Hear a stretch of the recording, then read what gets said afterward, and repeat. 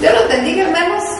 Damos gracias al Señor por este nuevo momento con Dios, por este nuevo día, por poder volver a abrir nuestros ojos, buscar su rostro, alabarlo, glorificarlo y llenarnos más de Él. Vamos a estudiar el Salmo 20, dice así.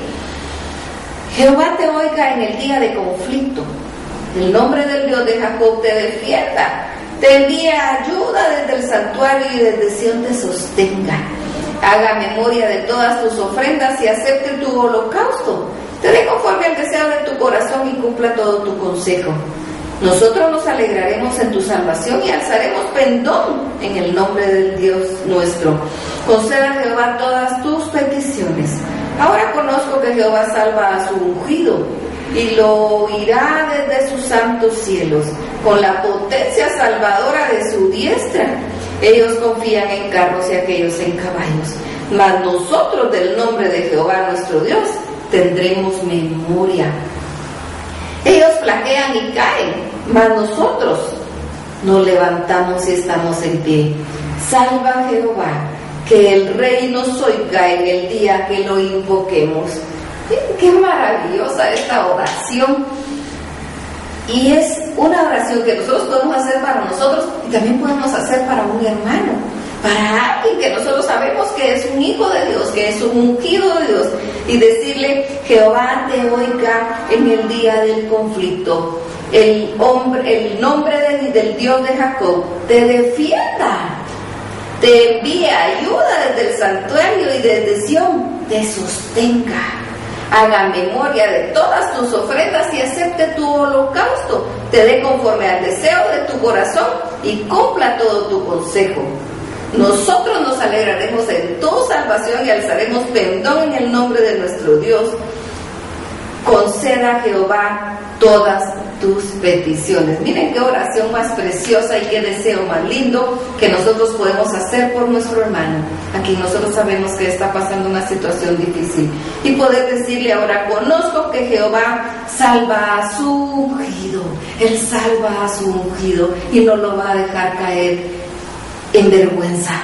Él salva a su ungido, lo oirá desde sus santos cielos, con la potencia salvadora de su diestra es que no es poca cosa de repente lo que estamos pasando, pero es la diestra del Señor la que nos levanta la que nos socorre, porque Él es todopoderoso.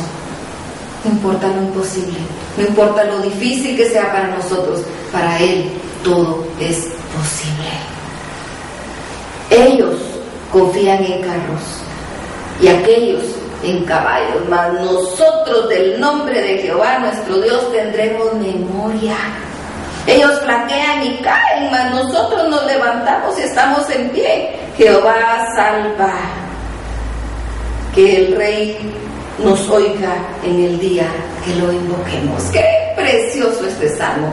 Yo les voy a pedir que hagan todo lo posible por aprenderlo de memoria, por ponerlo en práctica en su vida y por orar este salmo para otras personas.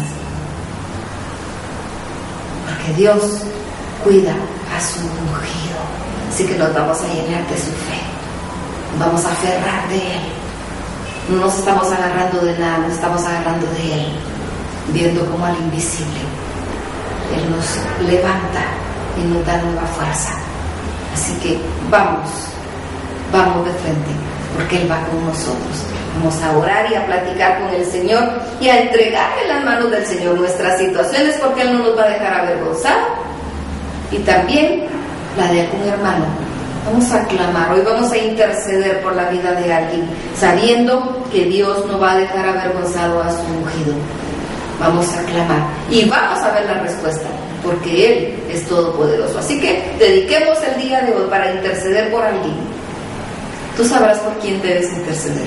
Intercede con todas tus fuerzas, leyendo este salmo, aplicando este salmo a tu amigo, a la persona por quien estás intercediendo, y vas a ver la gloria de Dios. Gloria como la del unigénito del Padre. Así que vamos y gloriémonos y glorifiquémonos en el Señor. Démosle la honra y la gloria al único que la merece, al único que es digno. Vamos hermanos, Dios los bendiga.